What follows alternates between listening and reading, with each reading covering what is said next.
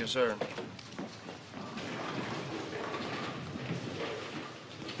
In a million years, I would have never figured you for a bowler. Actually, I'm not. I, um, I kind of got set up on another blind date. Oh, worse than me? Oof, bowling nerd, bad news. Yeah, well, he's not picking his nose, he's picking elsewhere. Hanson, I'll make you a deal. You get me out of this, I'll push your next icy case through. This is a lot to ask. Okay, I'll be there in a minute.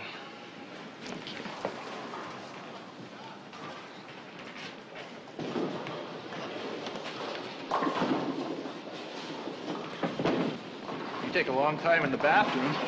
Oh, I'm not housebroken yet. Jackie, this is highly irregular.